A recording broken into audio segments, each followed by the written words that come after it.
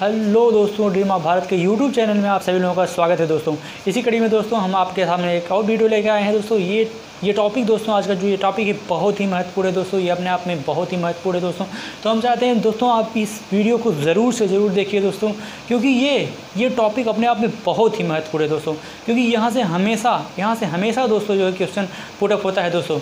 तो हम देखेंगे दोस्तों, इन, इनमें कौन कौन सकते हैं? हम हम लोग देख रहे थे कि आधुनिक भारत के ऐसे व्यक्तित्व जिन्होंने समाज को, जिन्होंने मतलब देश को आज़ाद करने के लिए, समाज को एक नई दिशा देने के लिए इन्होंने अपना सब कुछ जो है न्यौछावर कर दिया। दोस्तों, अपने प्राणों की आहुति दे दी दोस्तों।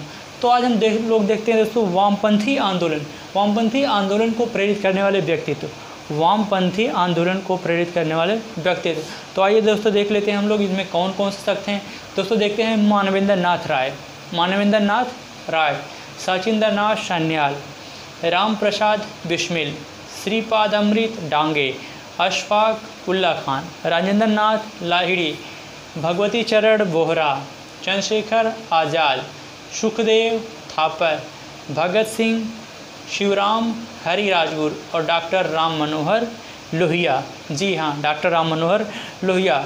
अब दोस्तों, आइए देख लेते हैं इन्होंने कौन कौन से महत्वपूर्ण कार्य किए, इन्होंने कौन क्या क्या कार्य किए, इन्होंने समाज के लिए कौन सा जो है महत्वपूर्ण योगदान दिया है। तो दोस्तों, हम कॉन्सेप्ट के साथ साथ इनसे संबंधित जितने भी फैक्ट हैं दोस्तों, हम हर फैक्ट पे जो है चर्चा करेंगे। तो आइए दोस्तों, देखते हैं। मानवेंद्र नाथ राय। मानवेंद्र नाथ राय दोस्तों, ये रेडिकल डेमोक्रेटिक पार्टी की स्थापना करते हैं। ये दोस्तों क्या करते हैं? रेडिकल डेमोक्रेटिक पार्टी की स्थापना करते हैं और ये Manvendra Nath Roy radical democratic party की स्थापना करते हैं और ये लेनिन लेनिन के निमंत्रण पर दोस्तों लेनिन के निमंत्रण पर ये third international third international communist party में हिस्सा लिए थे दोस्तों। थर्ड इंटरनेशनल कम्युनिस्ट पार्टी में इन्होंने क्या किया था? हिस्सा लिया था। कौन दोस्तों? मानवेंद्र नाथ राय।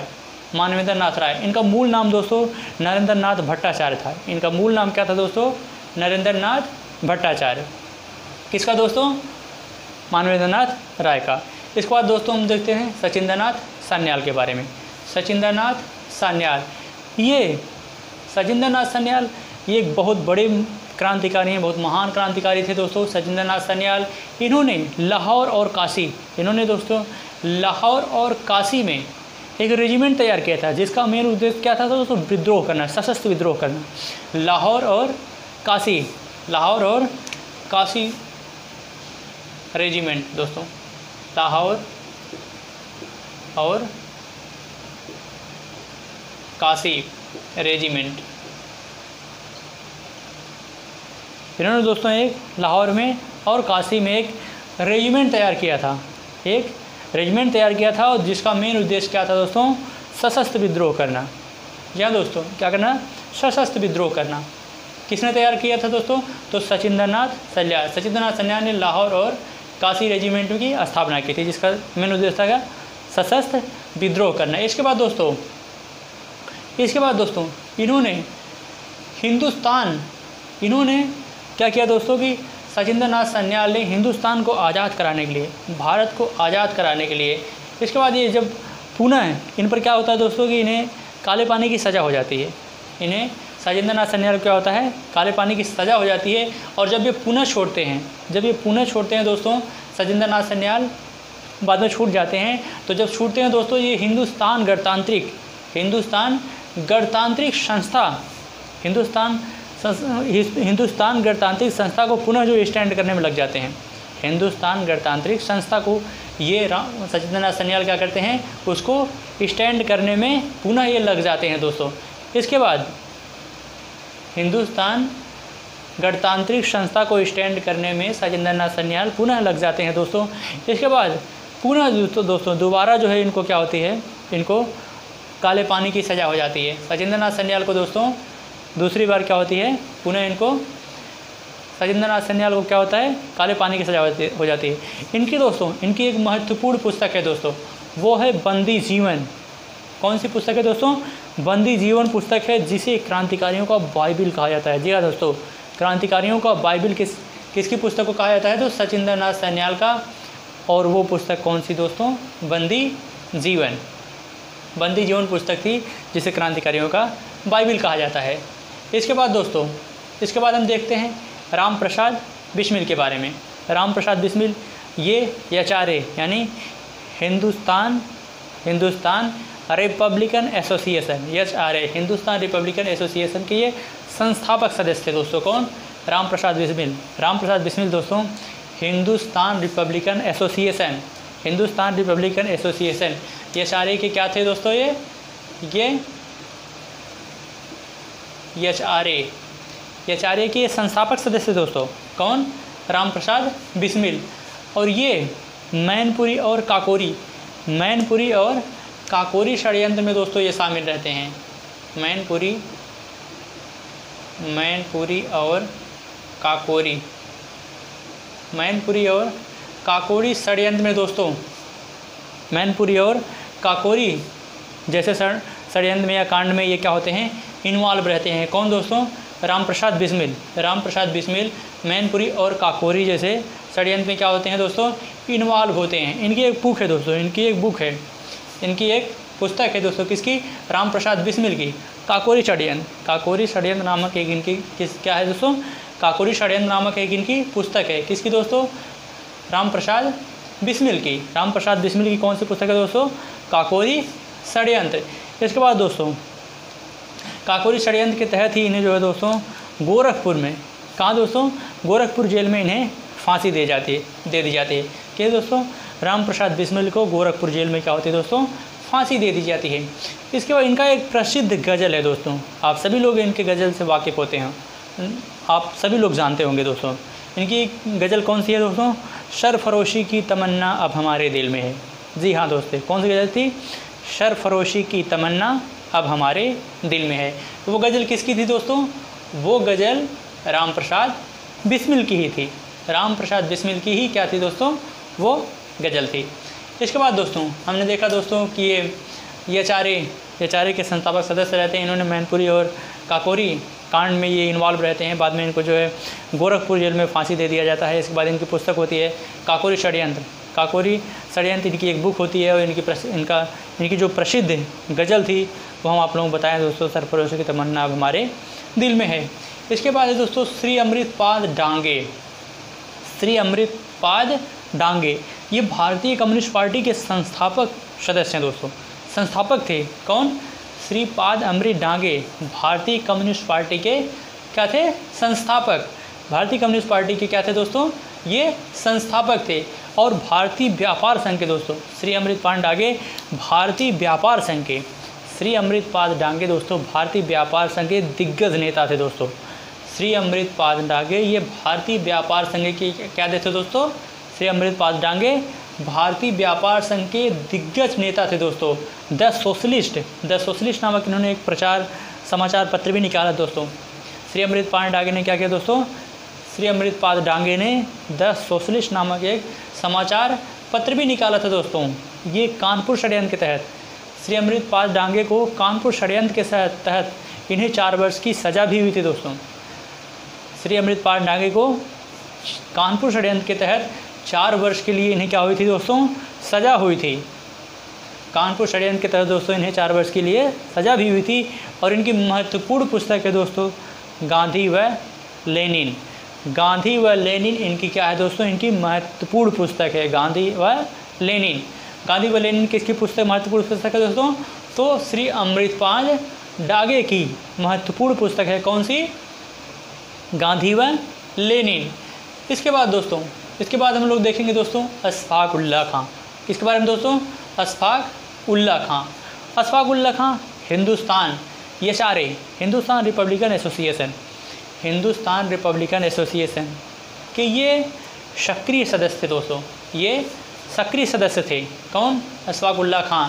इसके बाद काकोरी काकोरी कांड में भी ये इन्वॉल्व थे दोस्तों। अशफाक उल्ला खां, काकोरी कांड में भी क्या थे? इन्वॉल्व थे। इसके बाद दोस्तों 1927 में अशफाक उल्ला खां दोस्तों, काकोरी षडयंत्र में भी इन्वॉल्व थे और 1927 में दोस्तों, इन्हें फैज़ाबाद में फांसी दी जाती है। किसको दोस्तों? अशफाक उल्ला खां को 1927 में फैज़ाबाद में क्या होती है? फांसी दे दिया, दे दी जाती है दोस्तों। क्यों? क्योंकि काकोरी कांड में इन्वॉल्व होने के नाते इन्हें जो है उन्नीस सौ सत्ताईस में क्या होती है दोस्तों? फांसी दे दी जाती है। कब? उन्नीस सौ सत्ताईस में। कहाँ? फैजाबाद में। फैजाबाद के जेल में इन्हें क्या होती है? फांसी दे दी जाती है दोस्तों। किसे? अशफाक उल्ला खां को। इसके बाद दोस्तों राजेंद्र नाथ लाहिड़ी। राजेंद्र नाथ लाहिड़ी। ये राजेंद्र नाथ लाहिड़ी यच आर के सक्रिय सदस्य दोस्तों। राजेंद्र नाथ लाहिड़ी यच आर के राजेंद्र नाथ लाहिड़ी एच आर के सक्रिय सदस्य Hindustan Republican Association. Hindustan Republican Association के ये एक सक्रिय सदस्य थे और इन्होंने अनुशीलन समिति का, वाराणसी अनुशीलन समिति के शस्त्रागार का इन्हें प्रमुख हेड नियुक्त किया गया था दोस्तों। वाराणसी अनुशीलन समिति के शस्त्रागार का, वाराणसी अनुशीलन समिति के शस्त्रागार का इन्हें हेड नियुक्त किया गया था दोस्तों। किसे? राजेंद्र नाथ लाहिड़ी को। और ये काकोरी कांड में भी इन्वॉल्व थे दोस्तों। काकोरी कांड में इन्वॉल्व थे। जिसकी वजह से इन्हें दोस्तों 1900 1927 में 1927 में दोस्तों इन्हें गोंडा के जेल में, गोंडा में दोस्तों इन्हें क्या क्या कर दिया जाता है? इन्हें फांसी दे दिया जाता है। किसे दोस्तों? राजेंद्र नाथ लाहिड़ी को। ये राजेंद्र नाथ लाहिड़ी, ये जचारे के सदस्य थे, वाराणसी के अनुशीलन समिति के शस्त्रागार के ये प्रमुख हेड थे, ये काकोरी कांड में इन्वॉल्व थे दोस्तों। इन्हें गोंडा के जेल में उन्नीस में फांसी दे, दे दे दी जाती है दोस्तों। इसके बाद बंगवाड़ी बंगवाड़ी नामक इन्होंने एक पत्रिका का भी संपादन किया दोस्तों। कौन सी? बंगवाड़ी। बंगवाड़ी नामक एक पत्रिका का संपादन किसने किया दोस्तों? तो राजेंद्र नाथ लाहिड़ी। राजेंद्र नाथ लाहिड़ी के द्वारा एक बंगवाड़ी पत्रिका का संपादन किया था दोस्तों। इसके बाद दोस्तों अब हम लोग देखते हैं भगवती चरण बोहरा के बारे में। भगवती चरण बोहरा। ये दोस्तों, ये भी एक बहुत ही बड़े क्रांतिकारी थे दोस्तों। 1921 में 1921 में दोस्तों, उस समय ये गांधी जी के आह्वान पर, गांधी जी के आह्वान पर दोस्तों, ये आंदोलन में कूद पड़ते हैं, पढ़ाई लिखाई छोड़ करके दोस्तों। गांधी जी के आह्वान पे क्या होते हैं, ये असहयोग आंदोलन में कूद पड़ते हैं। गांधी जी के दोस्तों, आह्वान पर क्या होते हैं, ये असहयोग आंदोलन में कूद पड़ते हैं। इसके बाद दोस्तों, इन्होंने ये एच आर एस के सदस्य थे। H S R A Hindustan Socialist Republican Association. Bhagwati Charan Vohra, दोस्तों, ये Hindustan Socialist Republican Association, Hindustan Socialist Republican Association के। ये क्या थे, दोस्तों?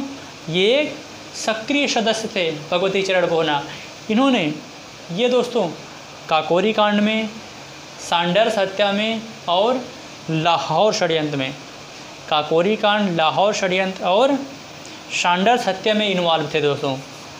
काकोरी कांड, लाहौर षडयंत्र और सांडर्स की हत्या में ये इन्वॉल्व थे दोस्तों। कौन? भगवती चरण बोहरा। लेकिन दोस्तों, ये कभी भी, ये कभी भी दोस्तों गिरफ़्तार नहीं किए गए। कभी भी ये पकड़े नहीं गए दोस्तों। और ये दोस्तों, इन्हें मतलब ये बम बनाना जानते थे दोस्तों। ये बम बनाते थे। कौन? भगवती चरण, बोहरा दोस्तों। इनकी एक पुस्तक भी है दोस्तों, बम दर्शन। बम दर्शन। बम दर्शन किसकी पुस्तक है दोस्तों? तो बम दर्शन जो है वह भगवती चरण, बोहरा की पुस्तक है दोस्तों। और नौजवान भारत सभा के दोस्तों, नौजवान भारत सभा के ये प्रचारक सचिव भी थे। नौजवान भारत सभा के ये क्या थे दोस्तों? प्रचारक सचिव थे। भगवती चरण बोहरा नौजवान भारत सभा के ये प्रचारक सदस्य थे दोस्तों, या प्रचारक सचिव थे। इसके बाद दोस्तों, भगवती चरण बोहरा इनकी पत्नी थी दोस्तों, दुर्गा दुर्गा देवी। इनकी पत्नी थी दुर्गावती या दुर्गा देवी, जो क्रांतिकारियों में दुर्गा भाभी के नाम से प्रसिद्ध थी। तो दोस्तों, क्रांतिकारियों में दुर्गा भाभी के नाम से प्रसिद्ध थी दोस्तों। इन्होंने इन्होंने दोस्तों मतलब वही दुर्गा भाभी हैं, जिन्होंने भगत सिंह को बचाया था दोस्तों। भगत सिंह को बचाया था सांडर्स की हत्या में। जब सांडर्स की हत्या किए थे भगत सिंह और सुखदेव तो वहाँ से जो है उनको सही सलामत बचा के बचा के निकालने में किसका हम योगदान था दोस्तों? तो दुर्गा भाभी का ही योगदान था। और वो दुर्गा भाभी भगवती चरण बोहरा की क्या थी? पत्नी थी दोस्तों। इसके बाद दोस्तों, चंद्रशेखर आज़ाद। जी हाँ चंद्रशेखर आज़ाद। ये एक महान शख्सियत थे दोस्तों। इनके बारे में जितना कुछ कहा जाए, उतना कम है। इन्होंने अपना सब कुछ जो है दोस्तों, देश की आज़ादी के लिए अपना सब कुछ न्यौछावर कर दिया दोस्तों। चंद्रशेखर आज़ाद, ये एच एस आर के संस्थापक थे दोस्तों। H S R A H S R H S R A Hindustan Socialist Republican Association. Hindustan Socialist Republican Association के क्या थे दोस्तों? ये संस्थापक थे काकोरी कांड शांडर्स हत्या लाहौर असेंबली बम कांड में। ये इन्वॉल्व थे दोस्तों। कहाँ कहाँ इन्वॉल्व थे दोस्तों? तो काकोरी कांड सांडर्स हत्या और लाहौर असेंबली बम कांड में ये क्या थे दोस्तों? ये इन्वॉल्व थे। कौन दोस्तों? चंद्रशेखर आज़ाद। लेकिन चंद्रशेखर आज़ाद कभी भी दोस्तों अंग्रेज़ों को हाथ नहीं लगे। चंद्रशेखर आज़ाद कभी भी क्या हुए? अंग्रेज़ों के हाथ नहीं लगे। इनके ऊपर दोस्तों, काकोरी कांड, सांडर सत्या और असेंबली कांड में इन्वॉल्व थे। वो तो केस चल रहा था। इसके बाद दोस्तों, दोबारा लाहौर और दिल्ली षडयंत्र इन पर चलता है, षडयंत्र केस चलता है। चंद्रशेखर आज़ाद पर दोबारा लाहौर और दिल्ली षडयंत्र केस चलता है दोस्तों। चंद्रशेखर आज़ाद पर दोबारा लाहौर और दिल्ली षडयंत्र केस चलाया जाता है दोस्तों। और आप लोग जानते हैं दोस्तों कि इलाहाबाद के अल्फ्रेड पार्क में, इलाहाबाद के अल्फ्रेड पार्क में अंग्रेज़ों से मुठभेड़ हो गई। चंद्रशेखर आज़ाद की इलाहाबाद के अल्फ्रेड पार्क में अंग्रेज़ों से मुठभेड़ हो गई और उन्हें अंग्रेज़ों को कैसे पता चला? क्योंकि किसी मुखबिर ने जो है, किसी मुखबिर ने बता दिया कि हाँ यहाँ जो है, हैं, इसके बाद क्या होता है कि वहाँ मुठभेड़ हो जाती है। किसकी? चंद्रशेखर आज़ाद की अंग्रेज़ों से। और ये लड़ते रहते हैं, लेकिन इन्होंने प्रण किया था कि मैं कभी भी अंग्रेज़ों के हाथ नहीं लगूँगा।